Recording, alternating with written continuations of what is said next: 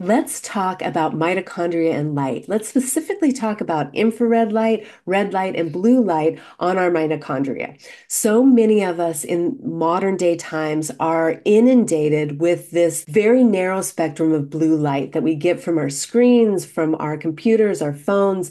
This light is just a small sliver of that bigger band of natural blue light that we get from the sun. When we go outside, we have a wide range of frequencies that are being emitted from the sun. We are exposed to ultraviolet B, ultraviolet A. We're exposed to the full spectrum of visible light violet, blue, green, yellow, orange, and red. We are enveloped in infrared energy, near infrared, mid infrared, and far infrared.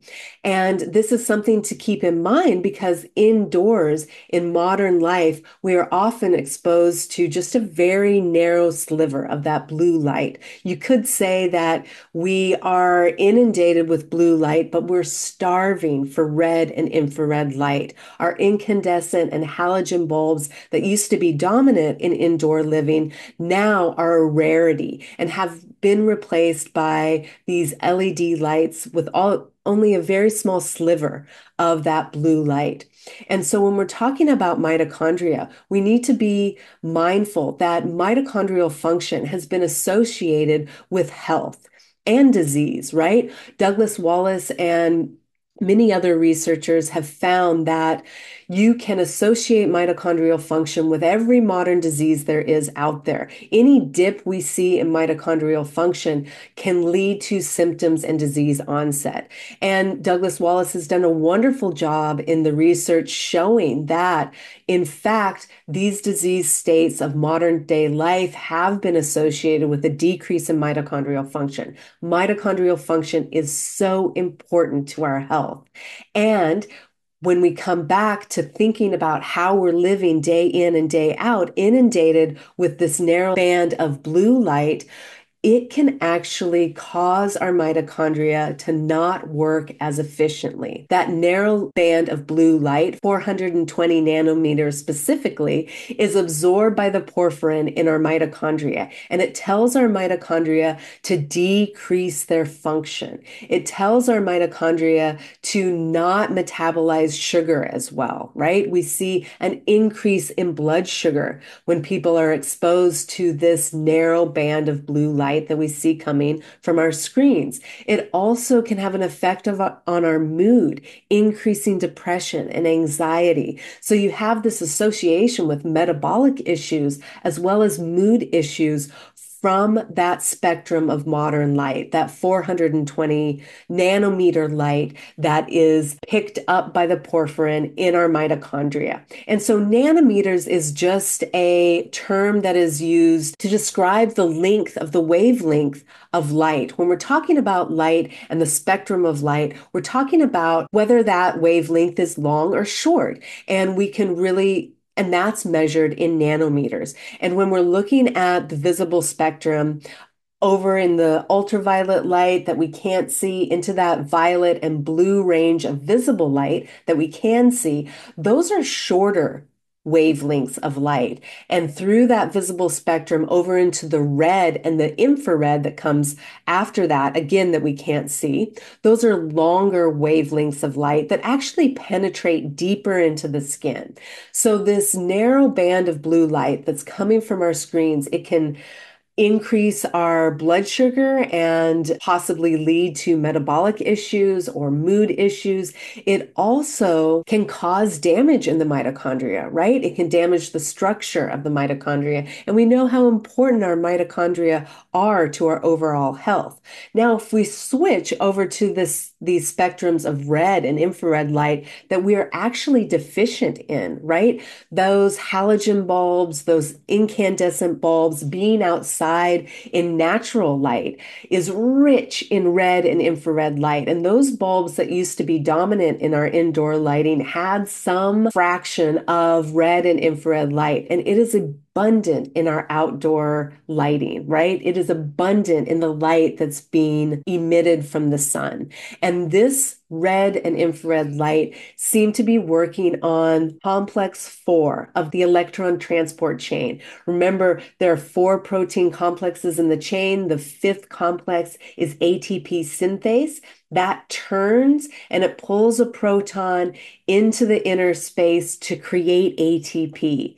And we, we really want efficient, properly functioning mitochondria for our overall health and how those electrons are tunneled through that electron transport chain are really important. They help maintain that proton force, right? So we have that little jelly bean mitochondria. There's so many of them in any given cell, most of all in our retinal cells, but our heart, our brain also have lots and lots of mitochondria in them, but they're they're in almost every cell in our body, right? And these little mitochondria have an outer membrane, and inside that, they have an inner membrane. And in between the outer membrane and the inner membrane of the mitochondria are a bunch of hydrogens, are a bunch of protons. And we really want a nice buildup of those protons. And as those electrons tunnel down that chain, they pull protons into that inner membrane space. And as that buildup of protons is increased by those electrons going down the chain, then it builds up this pressure and those protons go down that final ATP synthase to create ATP. And that fourth protein complex, that cytochrome C oxidase. We see that red light is possibly working on making that very efficient. And we see that from research out of Russia. We also see research saying that that red and infrared light might be decreasing the viscosity of the water in the inner membrane space, helping that fifth ATP synthase rotor move faster, right? Decreasing the viscosity, allowing that rotor motor to spin and pull a proton in to create ATP. Uh, there's another theory out about oxygen, but it's fascinating to think how light is impacting our mitochondrial health, our overall health because of that, and to think of what we are being enveloped in as far as light spectrums in our modern day living really dominant in that narrow band of blue light that causes our mitochondria not to work as efficiently,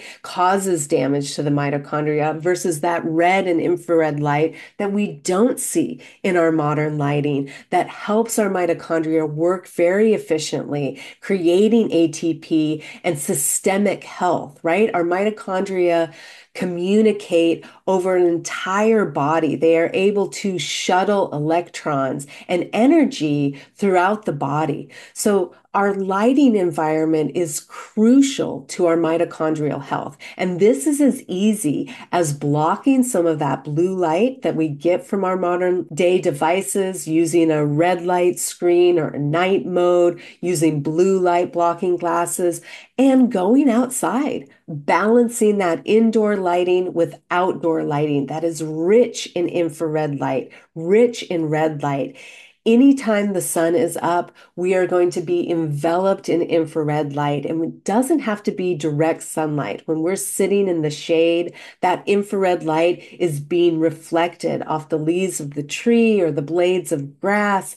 Anytime we're outside, we are completely enveloped in this nurturing, nourishing infrared light, and it is foundational to our mitochondrial health. Thank you so much for joining me. If you have any questions, leave them down below. If you like this content, subscribe and stay tuned for the next video. Thank you so much for joining me.